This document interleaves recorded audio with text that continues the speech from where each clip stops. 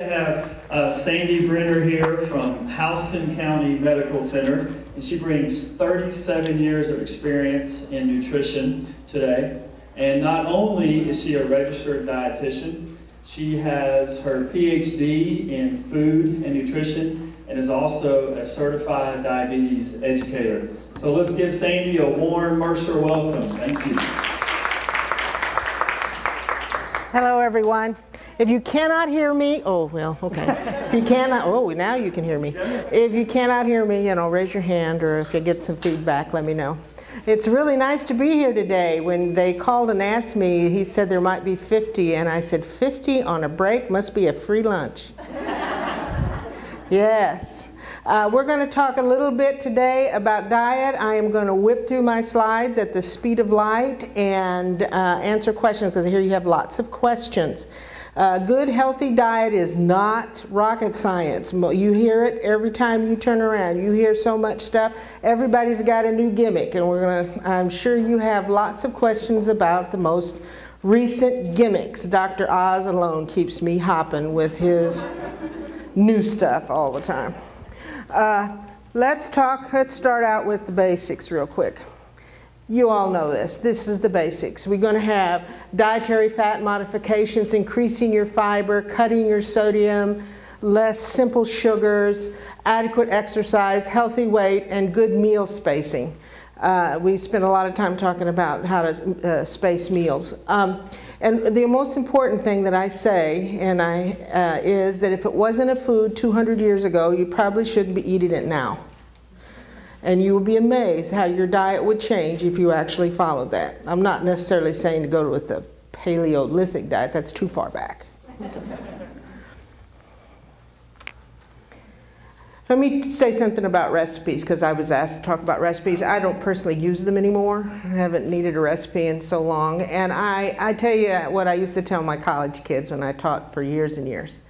Um, you only need three cookbooks if you need that. First, you need Better Homes and Gardens and several different editions. I have three or four. I buy a new one every three or four years. And that's the basics. There's hardly anything that you, hey, I even have a, an app on my cell phone now from that.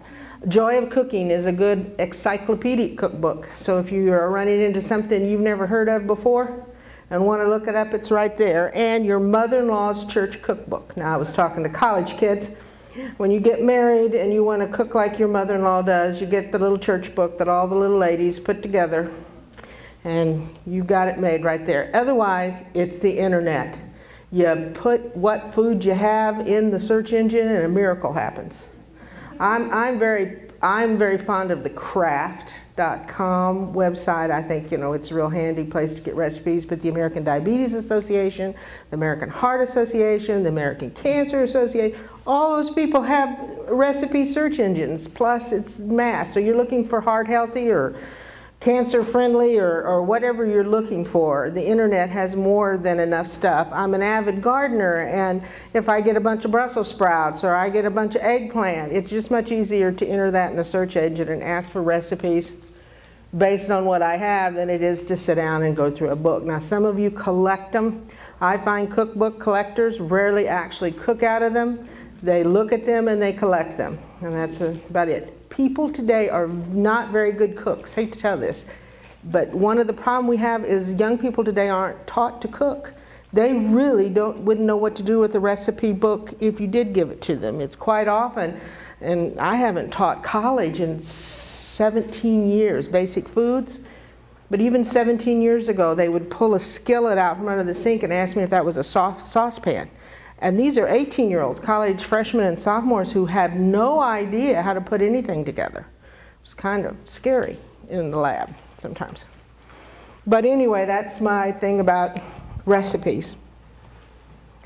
Uh, we're going to hear a lot about, you know, for years we taught about cholesterol, for years we taught about everything, but now we know that inflammation is the name of the game things, foods, nutrients that we used to say were good for your heart, we now know they tend to be anti-inflammatory. Things that we said, oh, you know, that'll clog your arteries. We, we really know now they tend to cause inflammatory response. I hate to say that sandwich you're eating is fried. and although it started out in good old peanut oil, a few minutes in that deep fat fryer, it doesn't look like anything God made anymore. Okay. And a deep fat fryer, and hey, were there deep fat fryers 200 years ago? No, no. You ever tried to regulate heat over a campfire? It's not easy. And besides that, they didn't have oils. You know, purifying an oil is a modern thing.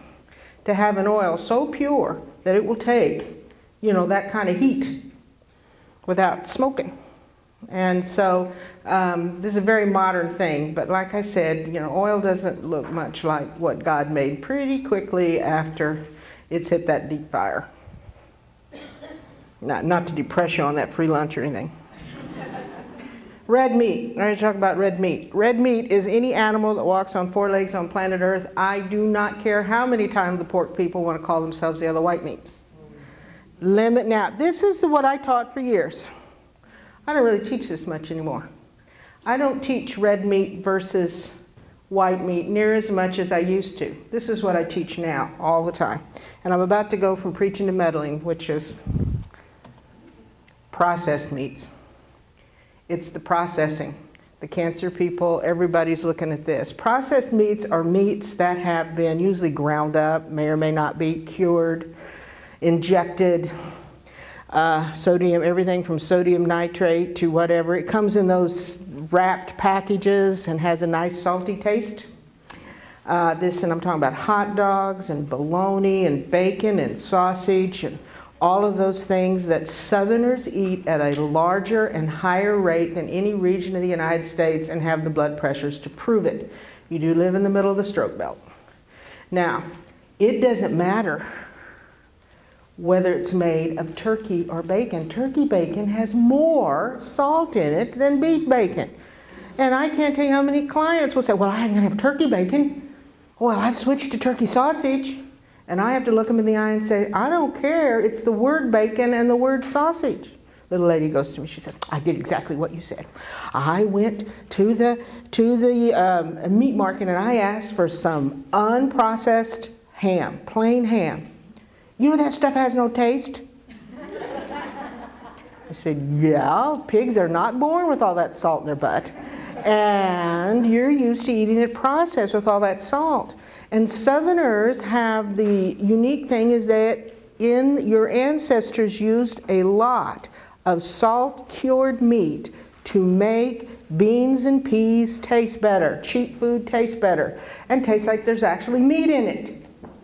My granddaddy ate this way and he never had these problems. Your granddaddy would have had to own the whole South Georgia to afford all the meat that, that you eat on the side of those beans and peas and greens that you eat loaded up. That Your ancestors did not eat that way. And even if they did, they got up, went out, and worked for a living.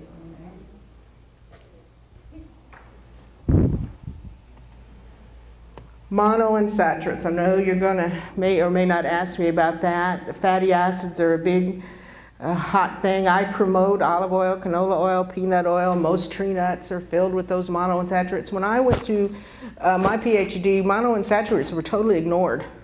We didn't think they did anything. You know, we went for the polyunsaturates and everything was corn oil and safflower and sunflower oil. You don't hear about those anymore. Everything's monounsaturated. Uh, the secret is, well, I put good peanut oil in my deep fat fryer. All right, I told you about that.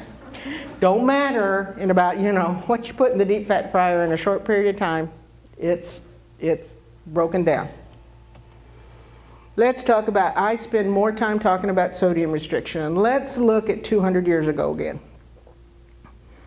200 years ago, food was not processed much, and salt had to be brought in from the nearest ocean. Yeah, sea salt. All salt is sea salt. All of it you know, ah, oh, well, it's refined.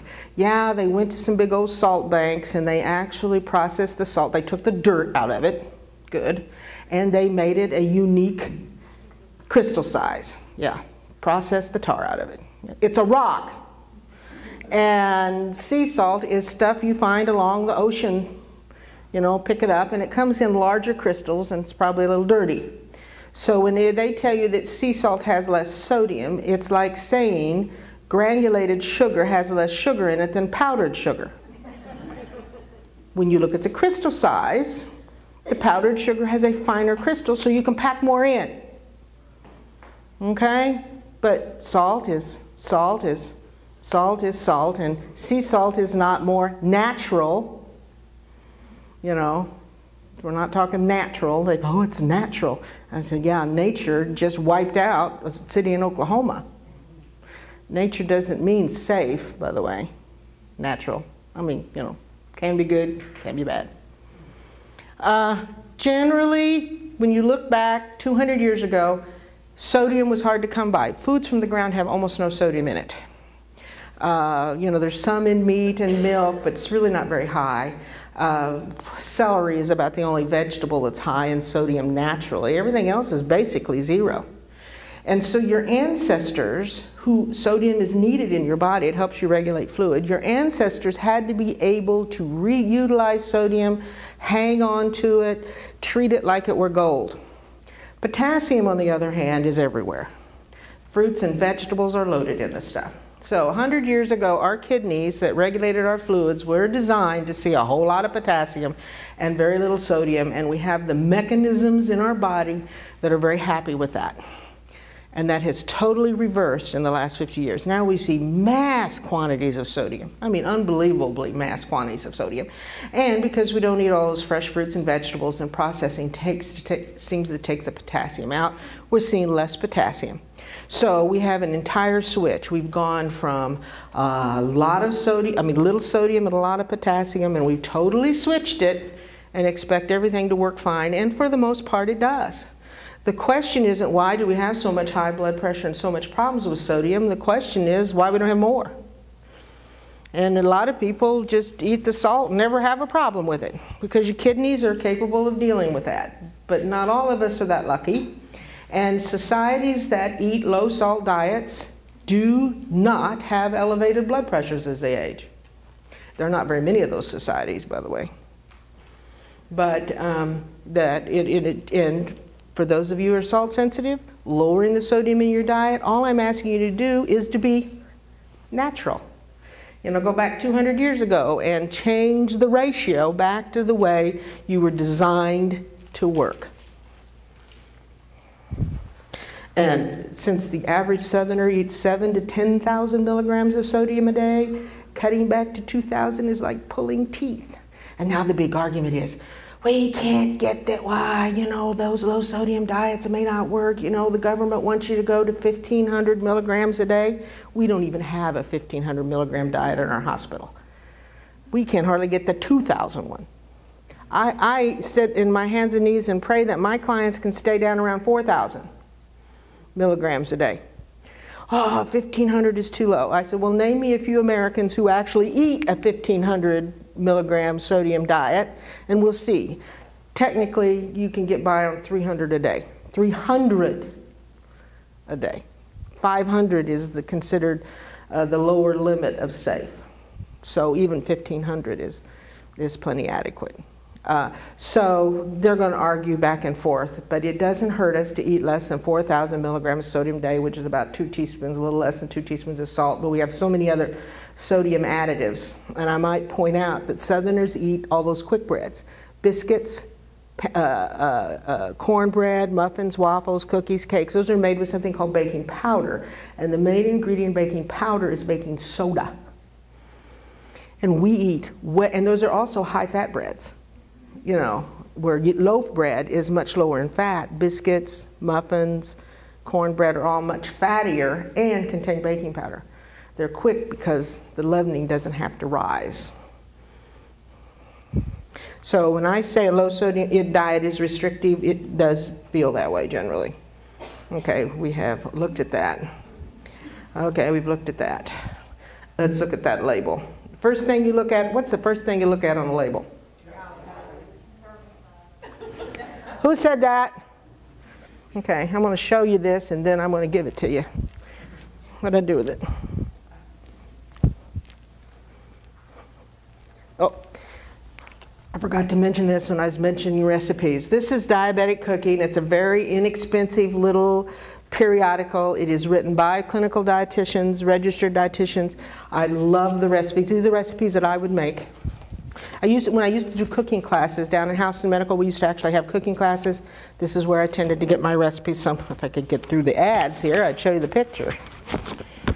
Pretty pictures of everything, and it's, it's not like jo- of, of the big fancy cooking magazines where you don't know what half the ingredients are and can't figure out what half of the things to do. This is useful. Who told me serving size? Consider it a gift. Serving size is the first thing you look at. Then calories, just fine.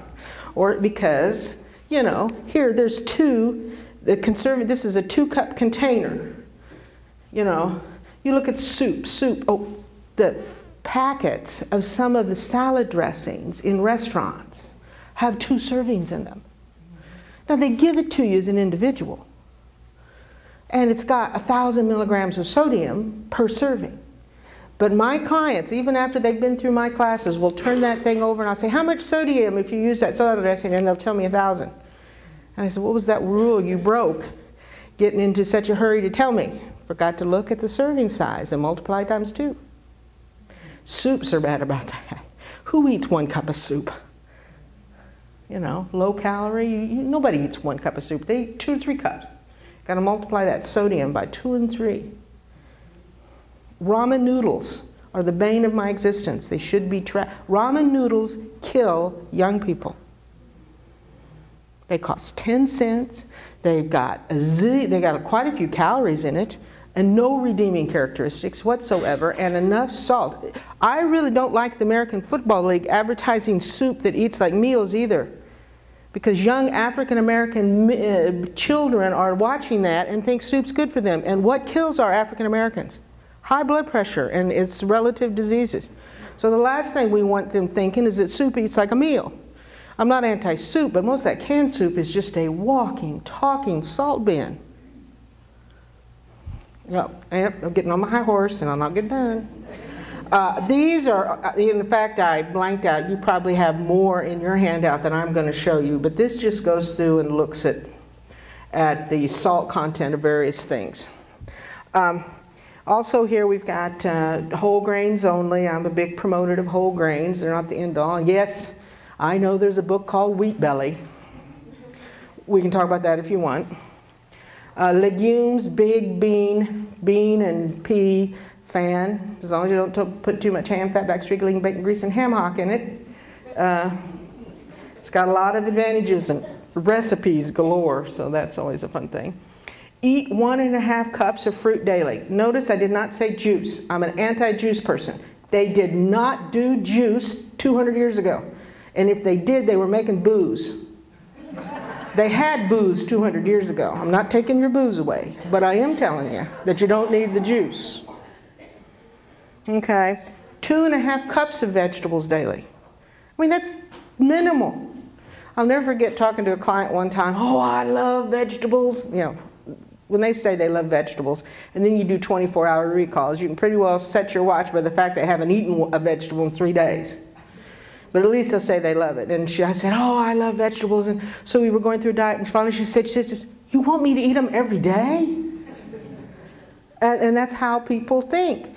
Uh, nuts and seeds are good sources and goodies, and nuts and seeds tend to not have much carb in it. And since I am a diabetes educator, we're always finding things that people can snack on that isn't going to affect their blood sugar. And so, nuts and seeds, so almonds and walnuts. And one of my diabetes clients said the other day, he says, Yeah, those nuts. He says, I thought I'd died and gone to heaven when you said that.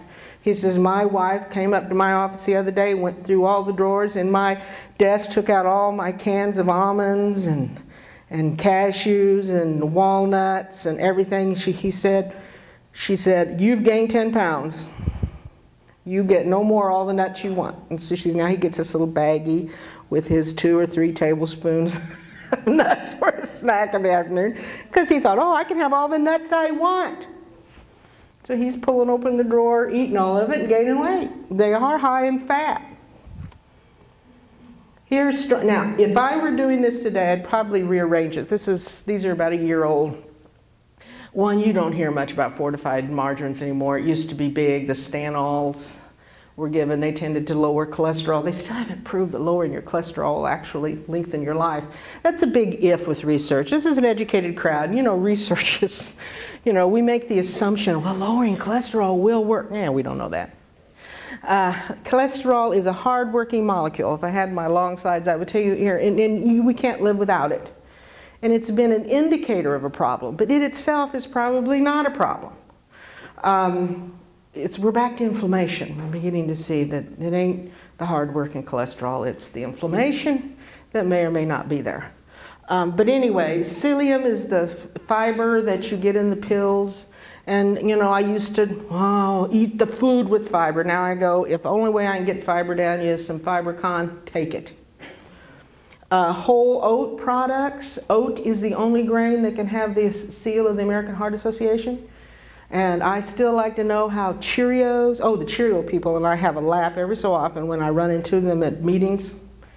I said, I can't believe you have the nerve to put the your heart association because it's, and oh, I eat Cheerios. Cheerios have no fiber in them. Have you read the label? They don't have enough to be worthwhile. Those oatmeal things over there at least have five. Uh, but because they're made, and it does have a little beta glucan, you can go over there, you know, oats, but oatmeal is, is the whole grain, because, and you all know that oatmeal's slimy, right? If you haven't slopped around in some oatmeal, that's the stuff that got it the Heart Association seal. Only oats have that as grain. That the beta glucans that are, the, it's a water soluble fiber. We're back to the same, beans have as much or more of it. So the same stuff that's in beans is what's in oats. Uh, fatty fish, the omega-3s, now we've got the krill oils and we're starting the big war there. Well, we have only DHA, not E, you know, and they're arguing over which omega-3 is good. And, you know, this is all driven by who owns the patent on it. Um, soy protein, you know, it, unfortunately, ladies, it hasn't been proven to help with hot flashes.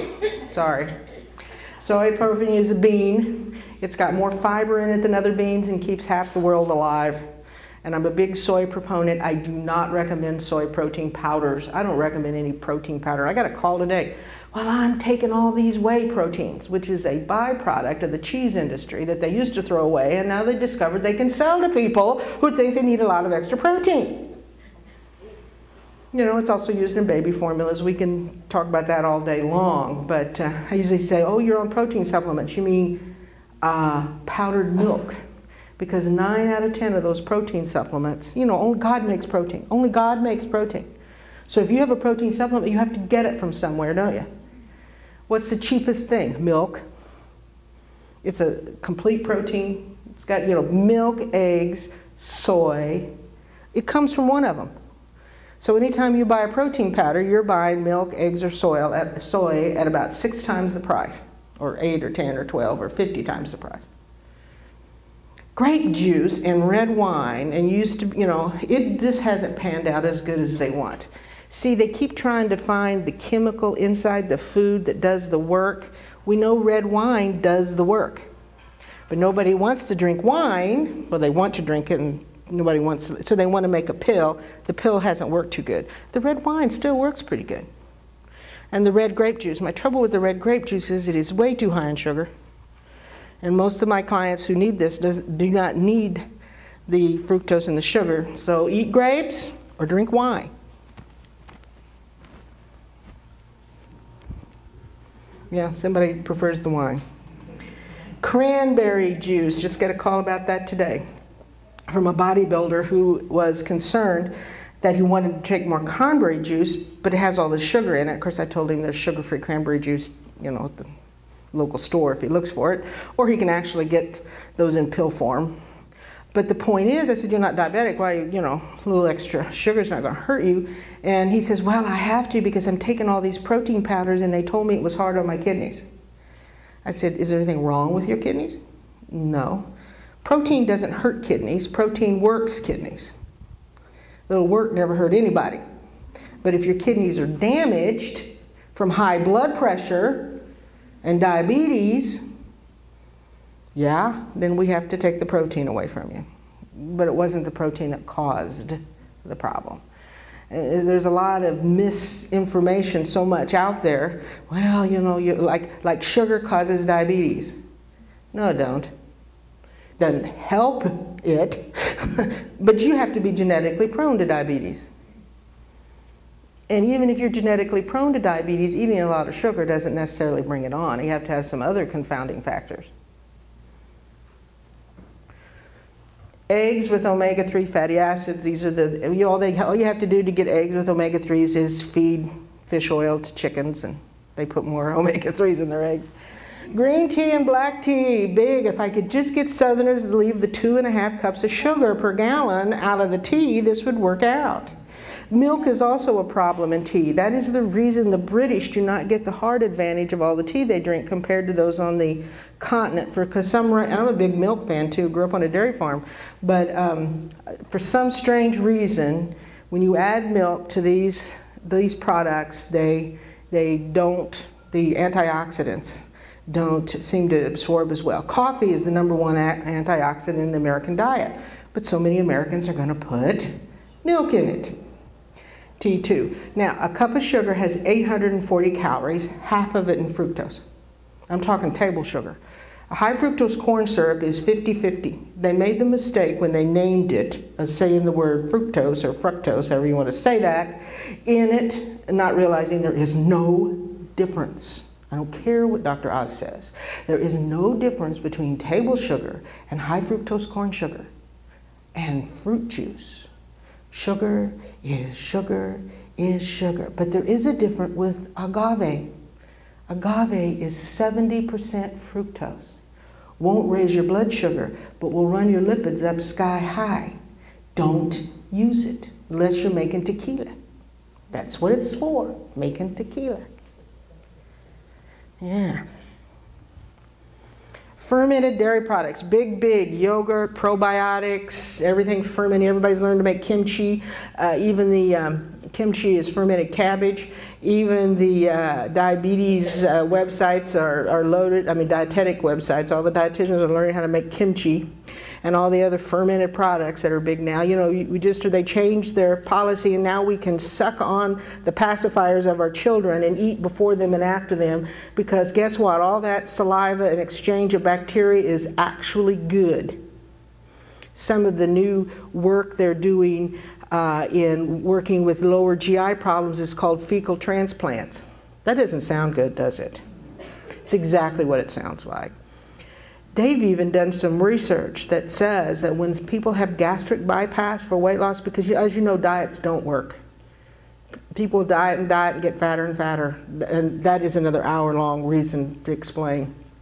But uh, diets don't work. But they just heard some research at a cardiometabolic conference that said that after gastric bypass, the GI tract changes, and they did some fecal transplants and found other people lost weight at almost the same rate as the guy with the gastric bypass when they did fecal transplants off. So one of these days you may go to the doctor for, ugh, never mind. Tree nuts lunch. Tree nuts, again, we talked about. Eat more of these. This is not, oh, and colors. Lots of colors. Raspberry ketones are big. Has anybody here heard of raspberry ketones? You know what ketones are? They're fat metabolites. Most of us know that, but they're also what gives fruit their smell. You know, they're, they're four carbon acids. And so, the, and they take ketones and they put it in your ink pen, and your ink pen smells like strawberry. You know, the scratch and sniffs, ketones. I, really don't know, but I have clients that swear by that for their blood sugars. It doesn't make any sense to me at all and seems like $35 down the drain, but I, I've learned anymore that, you know, as long as it's only $35 and they can afford it, try it. Tell me how it works. You know what I do when somebody has a new plan like this? I do this routinely you take this and you'll lose a thousand pounds, you know, and da da da da da da da. So I said, okay, and I go home and I get on my calendar and I swip my calendar to a year ahead and I write a note that says, ask so and so about miracle pill, okay? If they're still as gung ho about it a year later, I'm gonna spend $35 and try it just to see myself. I do that routinely. And then a year goes by, I'm usually asking, hey, you know that stuff that you were selling that somebody sold you, whatever, how's that going? You get, oh yeah, well, yeah, yeah. They're on to the new thing. They're selling me something else. Oh, dairy. Now, having said fat-free, I'm still standing by low-fat dairy. Although one of these days they're going to find a miracle in the low-fat and the dairy fat, and we'll all be taking dairy fat pills. My husband goes, well, according to your theory, Sandy, now that uh, coffee has become the new health food, we'll see coffee pills. So here we were, he elbowed me hard a few months ago at Sam's when they had the green coffee pills for sale. I said, I told you. You know, I told you when the cinnamon pills came down. Exactly. All of this happens. Of course, don't snort the cinnamon. You do know that, that there's a difference. Never mind.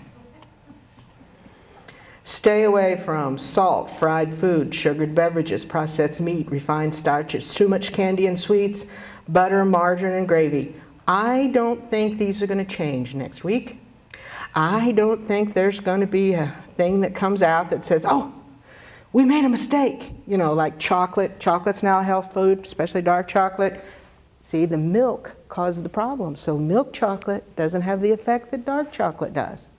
Because when you add milk to these antioxidants, for some weird reason, hot cocoa is not going to give you the antioxidant bunch as if you, you know, the Mexicans, and they put cocoa in, in hot bitter things, in hot things. Mole. If you ever eaten mole? You're going, ugh. I thought it would be sweet. It's got chocolate in it, right? Nope, got cocoa powder. You know, cocoa powder, good. Mix it with milk so it tastes good, and it's not so good. I think we're getting to the end. Okay. Uh, this is amazing for me. Uh, do you have any questions? Yes. I tried buying some uh, sunflower seeds to chew on those. It's supposed to swallow that stuff. It's really hard. Uh, that's the seed on the outside. Did you get just the seed, the inside, or did you get the shell on it? I guess it must be the shell. Yeah, the shell, and you got to bite them open in the inside, the seeds on the inside. But you can get them seeded. The problem with sunflower seeds are almost always salted. And my husband, when he quit, after we got married, he quit smoking, or he quit chewing tobacco, which he'd started up after he quit smoking. Uh, you know, and the sunflower seeds, you know, would build up everywhere. But um, uh, yeah, that that. Now, I it won't hurt you to chew it up and eat it. It's just fiber, but you're not supposed to. it's fiber, all right. it takes some serious chewing, and you know to do that. Nah, nah, nah. People eat rocks and glass and everything else. GI tract is the most adaptive surface on this planet. And, and you got a football, half a football field full of absorptive surface back there, and it takes something to hurt it. My daughter is a gastroenterologist. And she, in Shands, which is a hospital down in Jacksonville, Florida, and of course they take all the people, prisoners from the jail, and, and every time the guys at the jail want to get out for an afternoon, they swallow the most interesting things. So she gets to fish them out. And they have no problem. They have razor blades, ink pens, pencils, open uh, uh, uh, pin, uh, uh, safety pins, you name it. She was so mad one night, she came through at 3 o'clock and told the lady the next time she showed up, she better hope she wasn't on call because she was doing this without anesthesia. She says, I don't think I can get away with it, but I did scare. At least she wasn't smiling when I walked in. But, uh, you know, so it's amazing. They kind of wish that, because when it gets through the, out of the stomach into the small intestines, then the surgeons have to come in and the gastroenterologist can roll over and go back to sleep. Another question? Yes? Um, on the teas, the green tea or the black tea, if they're decaffeinated, are they still? As far as I know, the decaffeination is okay. You know, they do have to add, you know, go to a lot of trouble. Now, caffeine is one of those things that has gone from evil to good. Right, but I don't like the. Feeling that you get, yeah. Decaffeinated tea is the, it doesn't change the antioxidants that I know of at all. Still very useful. Question? But since you raised that question, I want to pick up on that, and then I ask another question. Sure. Is it very, is, uh, because I was told by my doctor from PA that coffee, if you're trying to watch your, you know, your blood pressure, that caffeinated coffee is not good. How old is this person? The person, she's probably about forty or forty. Well, because that's that's fairly old. You know, we used to take caffeine away from everybody. Couldn't figure out why post-surgery patients have those headaches. Just give them their coffee; they do fine. We only take coffee away anymore with people with arrhythmias that have arrhythmia problems. If your heart isn't beating, and any effect that caffeine has is very temporary. So if it does have, it's a very temporary bump. It would probably raise your blood pressure more to get off the caffeine. now, caffeine containing beverages, and of course they've done a lot of work now, it's an ergogenic aid. It gives you energy. And you know, it's used a lot by the sports people. You know, they used to test for it, but now they gave up on that and let you caffeinate. But um, uh, now, most people will drink the amount of caffeine that they're comfortable with. They get too much, get the shakes and the up. But even keeping you awake, it's only got about a 20 minute latency. In about 20 minutes it'll keep you awake. And that's not long enough to drive across country. So if you're dependent on caffeine to drive all night, you may have an accident. And certain races and gene pools are more susceptible to it. And some of you can drink coffee by the gallon and go right to sleep. You know, it just doesn't affect you much. It does cause the fatty acids to be burned a little bit. Yes? Yeah, my other question was, uh, you mentioned whole grains earlier, and I re- read something recently that whole grains are not very good for you. Oh, What would you? The wheat belly, oh, you know, I tell you, the, the big thing now is celiac. And, uh, or gluten-induced enteropathy. It's the alert, it's the allergy to gluten, and gluten is the protein that's in wheat, rye, uh, barley, and buckwheat. And it what is what forms the net. It's a protein. When you mix it with water, it comes out and it, and it forms kind of a balloon or a net which catches the leavening gas, glass, gases, excuse me, and allows the bread to rise. So that's the reason tortillas are so flat. You could do anything with cornmeal that you want, and you are not going to get it ever to look like bread. You have to get the, the wheat that has the gluten in it. And there are a lot of people, uh, uh, celiac is an autoimmune disease, and it's considered a gateway disease. It's the most common of the autoimmune diseases. It tends to run higher in people with European background. Uh, you know, so it, it, tends to run in the European background gene pools. And if you are sensitive to gluten, you can either have a severe case or a mild case.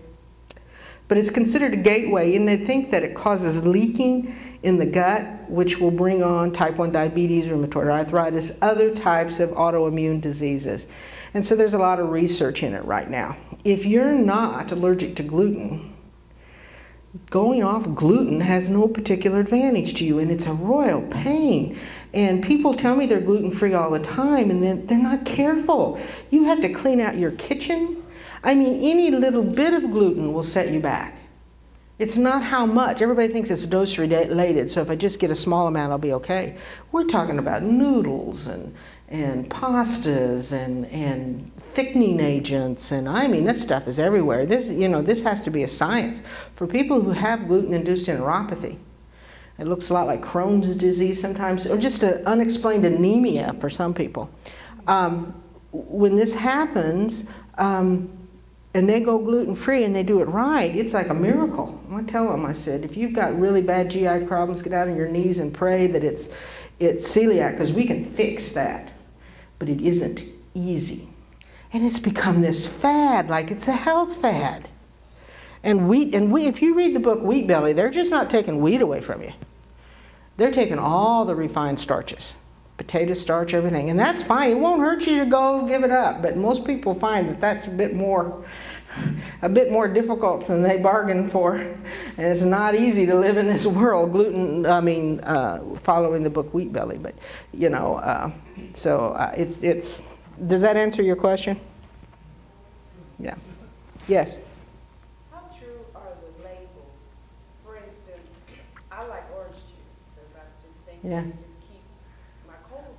Yeah. Basically, it has. However, I get the kind of orange juice that says it's one half the amount of sugar. in it. Well, orange juice by nature is, is got sugar in it. Sometimes they add it, but they can take they can take it out too. It's it's just sugar. It's fructose. It's got a lot of fructose. That's the reason fructose is called fruit sugar. Fructose is much sweeter than glucose, So fruit by nature has a lot of fructose in it, and it makes it a lot sweeter.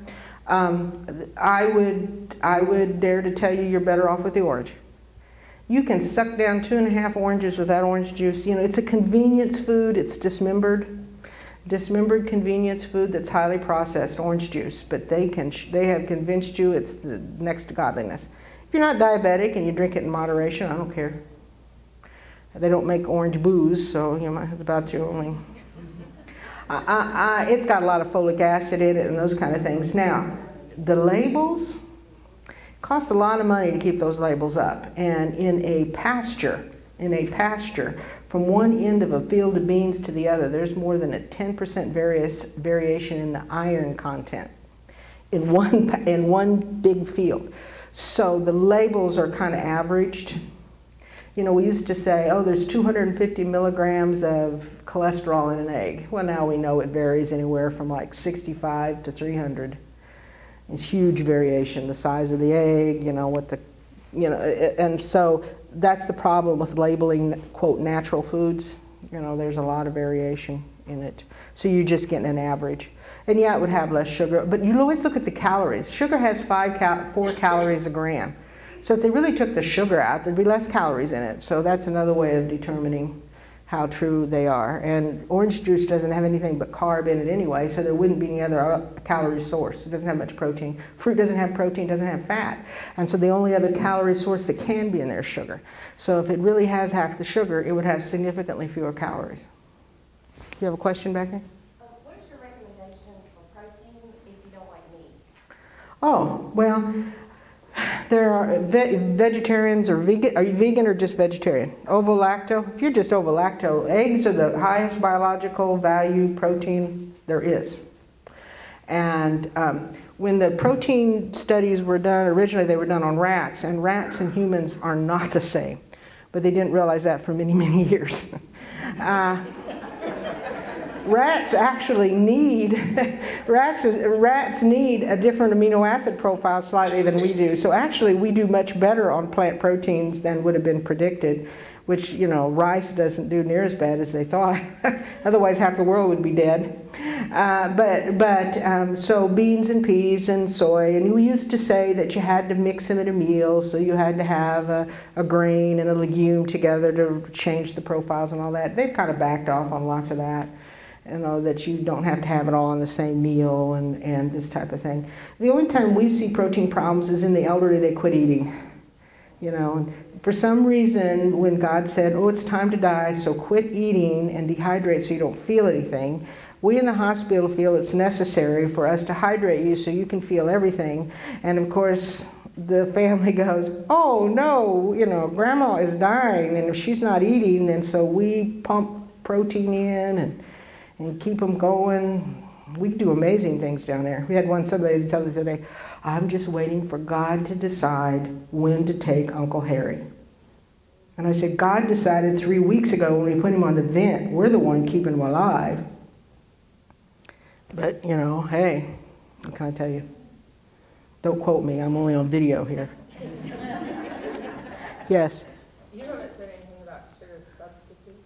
Oh, that's a good question. I'm a diabetes educator and I have a hard, you know, taking it away. When I was doing my PhD, they were just okaying and doing the work on um, a NutraSweet.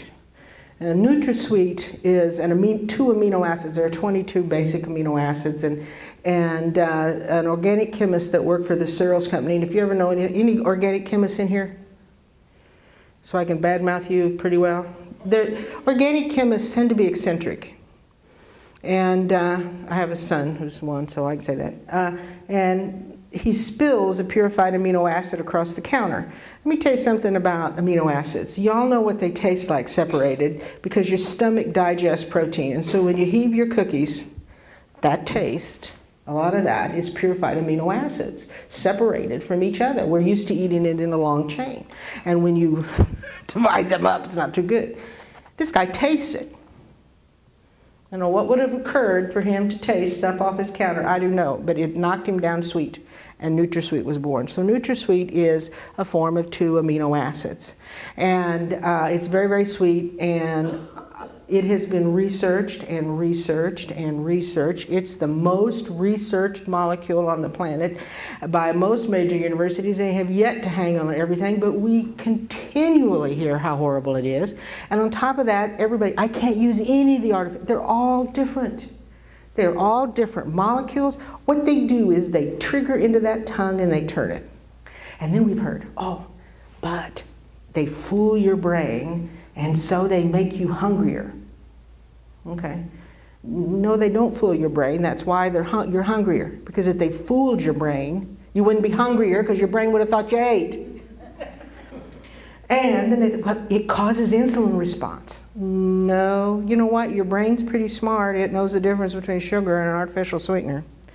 Uh, and all of this, the FDA, and it has been researched, all of the artificial sweeteners, all of them are okayed for every age and range of humans in the United States.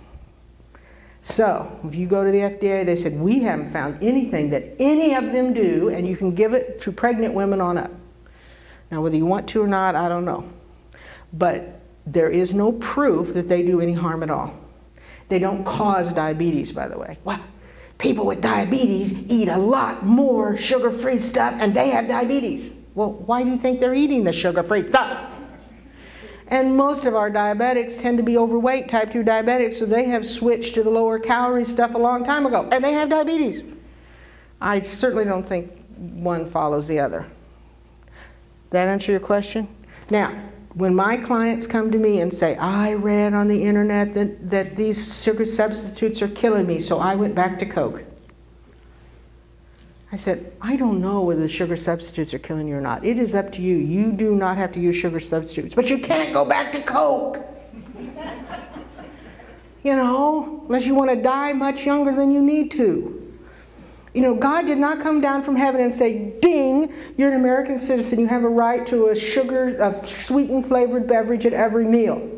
Drink water, unsweetened tea. You do not have to go back to sugar because you gave up sugar-free beverages my husband, I've decided to give up NutraSweet. I don't care what you said. So here we are shopping. So he went past his soda. He drinks too much soda, and it's a discussion, but you know. And he reached over to pick up his Crystal Light, and I said, ah, Crystal Light's got NutraSweet in it? Yeah. You know, and he was giving up the Splenda too. Everything that, you know, finally he says, you know, I agree with you. I don't think this causes any harm. So, yes. I have found time and time again though that the aspartame, Mm-hmm. even though I have low blood pressure, I don't have a health problem, but it causes pain in my legs. Uh, the most common thing that people complain about is um, headaches with it. And you know when I tell people, this is the most powerful organ, and if you believe it, whether it does or not, it'll do it.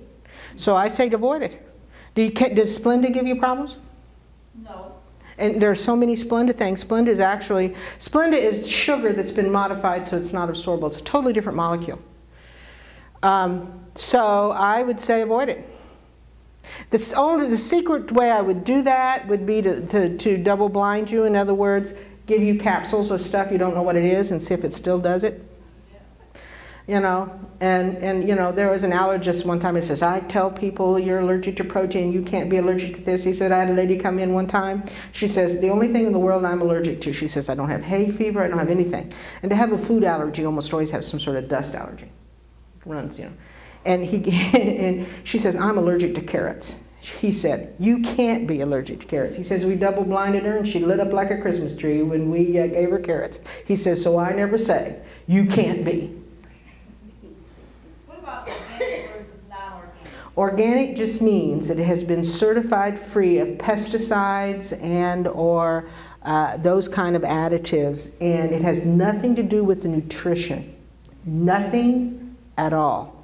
Personally, until they prove to me that people who eat organic actually have some sort of a health advantage compared to people who don't, I'm not willing to pay the extra. I'm a farmer. I'm not scared of a little Sevin dust. Maybe I should be. And in, but until I see better proof, I personally am not willing to pay the extra. Um, and I grow my own garden, and well, I hate to tell you this, but I've hit it with a little Sevin dust and again. Those little, like my little plant the other day, I pulled it up, and there was a cutworm. I was stomping around my garden. That's the best way to get rid of a cutworm, but everything else got a little Sevin dust. Um, that's what organic is. And if you can afford it and you want to do it, there are lists on the internet of which fruits and vegetables are, are more susceptible to pesticides. You know, where, so you're getting actually more bang for your buck for which things are more likely to actually have some of those in it. Remember that the average cabbage has 2,000 chemicals in it. Nobody's, nobody's actually studied, and a large percent of those are pesticides naturally. You know, plants can defend themselves, just like everything else. So, and they might be carcinogenic, but our bodies are designed to deal with a lot of carcinogens in every plant too. So, it's it's a very technical world out there, and I don't believe there is one thing that you can point to and say this is what's causing all the problems. It's a multifactorial stew, but something's going on. All these autoimmune. I think we're too clean for one thing. That now we're back to sucking on the on the pacifier to the baby. Uh, throw away all your antibacterial stuff and build an immune system. Yes.